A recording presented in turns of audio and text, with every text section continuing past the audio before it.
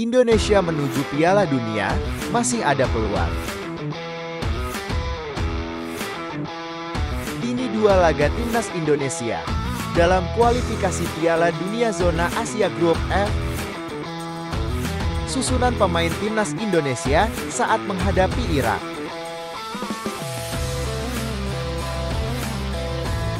Susunan pemain timnas Irak dalam menghadapi Indonesia.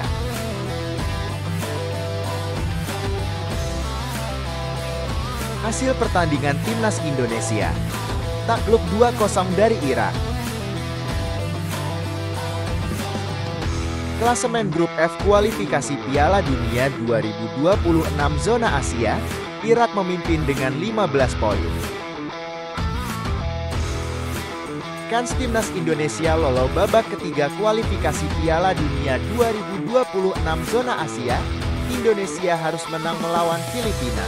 Jelajahi cara baru mendapatkan informasi. Download Metro TV Extend sekarang.